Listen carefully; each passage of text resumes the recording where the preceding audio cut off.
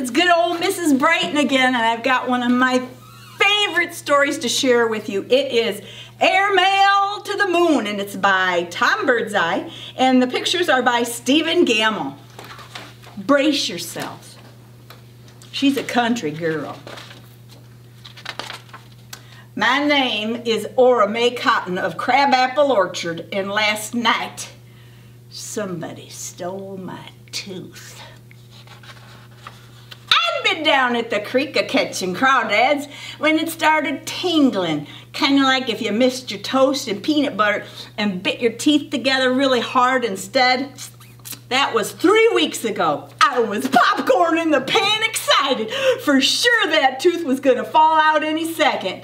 But that all, that's what I call my daddy, says not to milk the cow when she's asleep, which is crabapple orchard talk for not blabbing to everybody about something before you're sure of what you're blabbing about. So I did not tell a soul. Then last money, Monday, while fetching the mail at the country road, I stuck my tongue out at that pesky neighbor of mine, Marietta Bean, and gave her a big raspberry like this. Vibration from my tongue, flapping against my teeth, pop that chopper of mine as loose as a goose on ice skates. So I told the world about my first tooth a coming out whether they wanted to hear it or not. By Thursday, that tooth was so wobbly I was just hanging on by one root a little flap of skin. I could push it all the way out between my lips with my tongue and help Mama slop the hogs at the same time. Oreo, Mama said to me. Oreo's my nickname, just like the sweet cookie I am. Don't flop that tooth out when you're working. It reminds me of your cousin Cyrus before he got his braces. So I kept that tooth inside my mouth, worrying it like mad with my tongue. Then, Friday night, right after my big brother Bodine and my little sister Kelsey Ann got into a fight at the dinner table over whether Arlene's pigs really kneel and pray before they eat, that loose tooth of mine fell right out of my mouth, plop, slanted right in the middle of my spaghetti. Mama said, and be sure and put that tooth under my pillow. That way the tooth fairy would come and get it and give me some money. Money! Shoot howdy! Mama didn't say how much, but I figured it had to be at least a thousand dollars or maybe even a hundred dollars. I was so excited that I hurried to bed as quick as a dropped cat just so I could dream about all the things I was gonna buy. But like I said, somebody stole my tooth, so I guess I dreamed all night for nothing. First thing in the morning, I discovered the crime. I ran lickety-split to find Mama. She was in the root cellar, up to her elbows in rutabagas.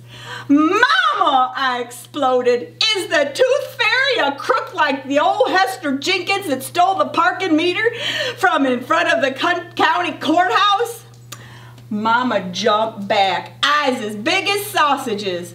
Why, no, Oreo. The tooth fairy is as honest as flowers in the spring. That's what I thought, I fumed. Well, then somebody besides the tooth fairy stole my tooth.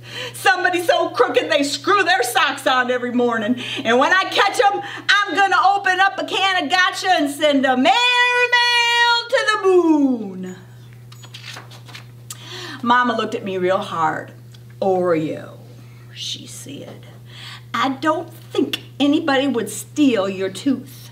Maybe the tooth fairy is putting it on a string with other teeth to make a beautiful necklace.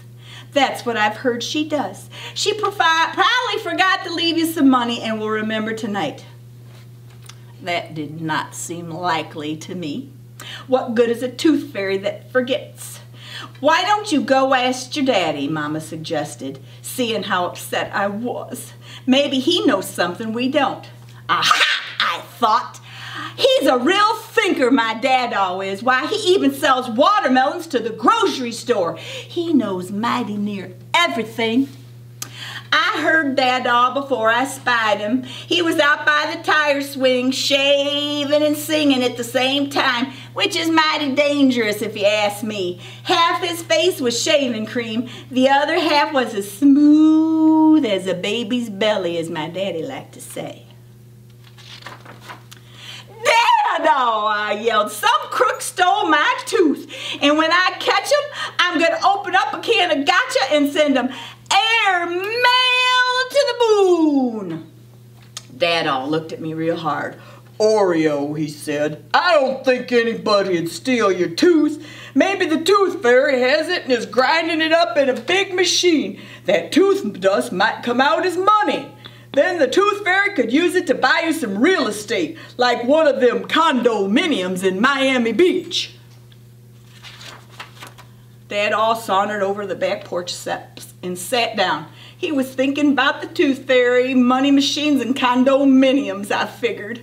It was all a who'd have thought it to me. What would I do with a condominium in Miami Beach? Yep, tooth dust, Dad all said. Tooth dust? I kind of shouted. But Dad, oh, somebody stole my tooth. Dad all rubbed his chin and nodded. Why don't you go ask your brother? He usually knows more than he tells. Aha! I thought, heading for the barnyard. My brother Bodine is as ornery as a bull in a beehive. And he lost two teeth last week when he fell out of the hayloft. I'll bet you he stole my tooth and glued it straight up in his own mouth. I'm gonna get that boy I vowed, and when I do, I'm gonna open up a can of gotcha and send him air mail to the moon. I did not steal your tooth, Oreo, Bodine said, calmly crawling out from under the corn crib. What would I want with girl teeth anyhow? They don't fit boys. I had not thought of that. Are you sure you didn't just give it to the tooth fairy? No money down. Why would I do such a stupid thing? I demanded to know. That is ridiculous. Bodine eyed the hen house. He was looking for his pet snake Fluff. The tooth fairy saves teeth to give to babies, right, Oreo? Not according to Mama or Dada. She don't. Well, according to me, Bodine Cotton, she does. That's so they can chew on rocks and shoes and stuff. Bodine, you're ornery, I reminded him. Talking about babies like that. yep, he whispered as he snuck in the hen house door. But I'm right. Where do you think Sister Kelsey Ann got her teeth when she was little? Aha, I thought. Maybe Bodine has a point. Kelsey Ann is as ornery as Bodine plus 10 10.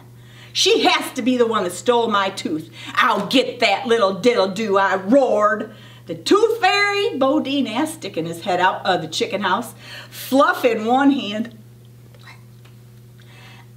Scared, hairy chicken squawking and flying everywhere. No, Kelsey Ann Cotton. when I do, I'm going to open up a can of gotcha and send her air mail to the moon.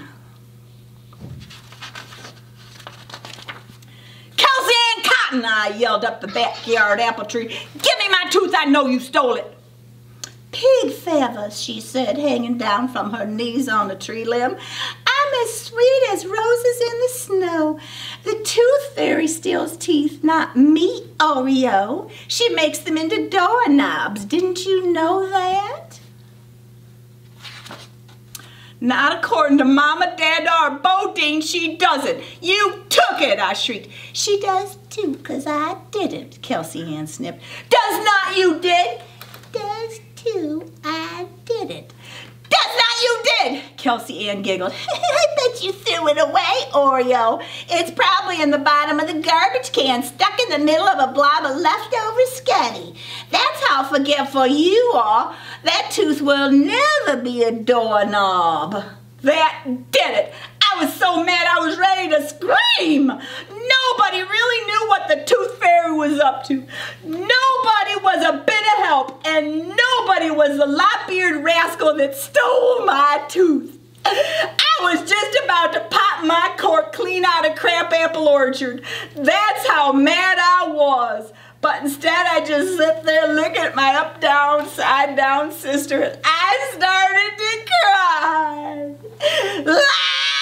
And long, big tears streaming down my face, tasting like salt. I didn't want to cry, just couldn't help it. Now, we cottons banter and shout and squabble and argue at one another a fair amount, just like any self-respected family. But if there ever comes a cotton bawling real tears of grief, the rest come a running to help. Hey ho howdy. In a flash, Dad, oh mama, Bodine, Kelsey Ann, and even my pesky little neighbor, Marietta Bean. We're at all my side in five seconds flat. Somebody stole my tooth, I sobbed, crying harder than ever when I catch them. I'm gonna open up a can of gotcha and send them airmail to the moon. And I stuck my hands down deep in my pocket so I looked like I really meant it too.